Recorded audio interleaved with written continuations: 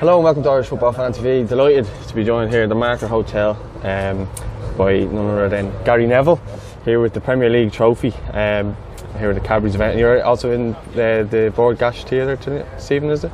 The what, sorry? The theatre? Yeah. Oh, yeah, I'm in the theatre. I didn't know what it was called, but I'm in the theatre, definitely. Just over here, actually. yeah, oh, can't wait. yeah. Um, well, anyway, uh, you're here over here with the Premier League. Um, what's been your thoughts so far of the Premier League itself this season? I actually think it's been a good start to the season. I was very critical two or three years ago about the quality in the Premier League. Uh, I thought for all the money that was being spent, the performances in Europe weren't good enough. The performances in the Premier League weren't good enough. It wasn't as high quality as it should have been.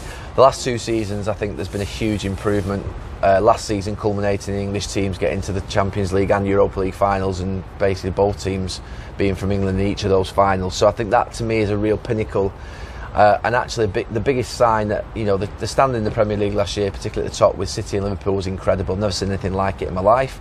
So I do think now that standard has got back to a high level. I think the introduction of Conte, Guardiola, Mourinho, Klopp, Pochettino, two three years ago now now Unai Emery, I do think has basically meant that that, that you know that basically the uh, the standard has just driven up. The players have got driven up, and I think we've got back to a point whereby it looked like German football, Spanish football was going to dominate forever, but now it looks like it's coming back to an English cycle. Yeah, and just in regards to the Premier League, you've obviously won it uh, countless times now. But uh, what's kind of been your, your favourite memory of the Premier League, or your, your favourite team in, in that period that you played in? The whole Premier League, Yeah, yeah. When, when you were there. our team, obviously. No, I would pick our team. No, I just mean of you know you had the kind of the Ronaldo team, then you had Cantona, Oh, sorry. That type of, I, I would say. Um, or what was the best team of them? Do you know something? That the 2018 was sensational when Ronaldo, Tevez, and Rooney were up front. Vidic and Ferdinand centre backs. That was just sensational. That team, world class players. Uh, the 99 team is my favourite because of the fact that just the people who were in, who were in it, just you know, six of us that basically come through the ranks. Um, obviously, Roy had been there for seven or eight years. Dennis had been there for a long time, um, and I just feel that was the team that just felt the most popular, the most connected to the fans. But the 2008 team was a brilliant team, and so was the 95, 94, 96 teams. Those teams that won the doubles, they were brilliant as well. But the 99 teams for the treble, and the fact of for me, the characters who were, who were in it, and the, the you know the friendships I had would probably make it the best. Yeah, you touched on Roy Keane there, and, and um, obviously that time as well. How big a factor was he, I suppose, in, in that team?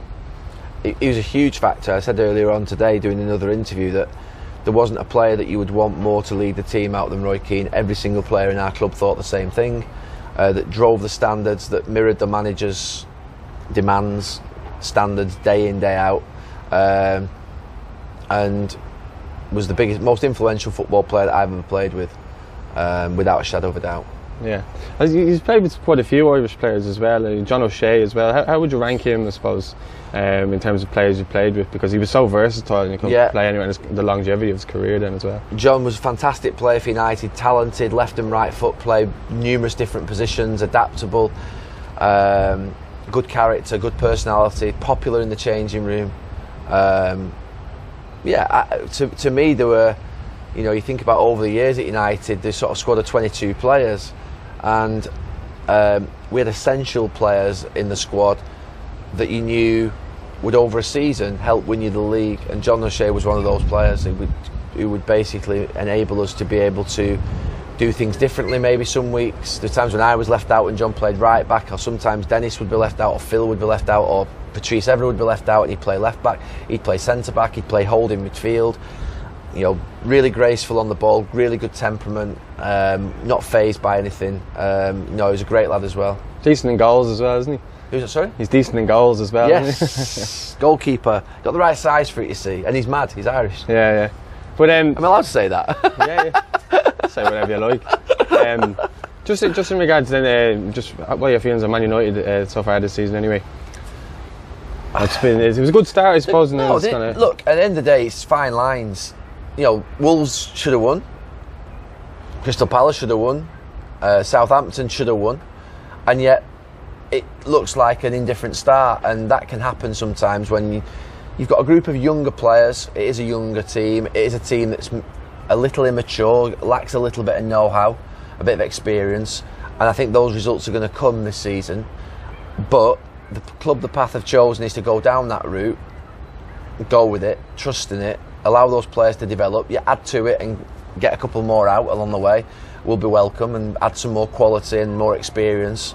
You know, not experience in 32, 33. I'm talking about experience 27 to sort 30, that type of perfect age where I think these players at the moment just need a little bit more know-how around them, a little bit more guile. Um, and they would have got through those games against Crystal Palace and against Southampton um, and Wolves. They would have got through them and, and, and got the right result. So there's a fine line between the right result and sometimes uh, the wrong result based upon just little things that happen in a game, moments. Yeah. Do you think that uh, Solskjaer is the, is the right man to lead them forward then for now? Well, yeah, because I trust. I, I, I've, I've, always have to absolutely throw it down here, isn't it? I always trust in the Manchester United manager. I trust in Ole. I, I trust in the fact that I trusted in David Moyes. I trusted in Louis Van Gaal. I trusted in Jose Mourinho. Didn't work out, but it's perception as to whether you think they've done a good job or not. Uh, or a bad job. You know, Jose won trophies, Louis Van Gaal won trophies. David Moyes was only given eight months. Ole now needs to be given time to be able to do what he wants to do with the squad and do what he wants with the team. There is no quick fix at United. Yeah. Well, Gary, I appreciate your time. It's been Freezing down here. here, so I apologise for that. But thanks very much for your Well time, done, Ari. well done. Enjoy your time here in Ireland, Thank Ari. you.